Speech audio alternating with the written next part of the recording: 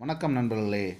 நம்ம திமுக தலைவர் திருமிகு ஸ்டாலின் அவர்கள் நம்ம மக்களுக்கு விழிப்புணர்வு கொடுக்குற விதமாக ஒரு வீடியோ போட்டிருக்காரு.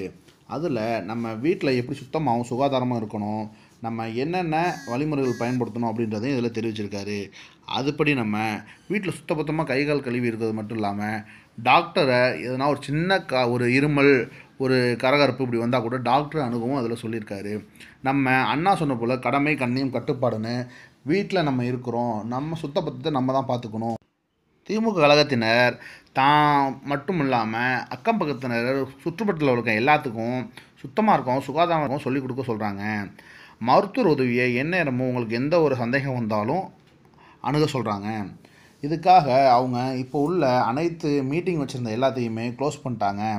இப்போ இது ஊரடங்கு உத்தரவு வந்ததுலேருந்து அவங்க இதுக்கு சப்போர்ட் பண்ணுற விதமாக எல்லாரும் திமுக கழகத்திலேருந்து நிறைய பேர் நிறைய உதவிகள் பண்ணிகிட்ருக்காங்க நன்றி நண்பர்களே. மேலும் இதுபோல் வீடியோக்களுக்கு நம்ம சேனலை சப்ஸ்கிரைப் பண்ணுங்கள் லைக் பண்ணுங்கள் ஷேர் பண்ணுங்கள்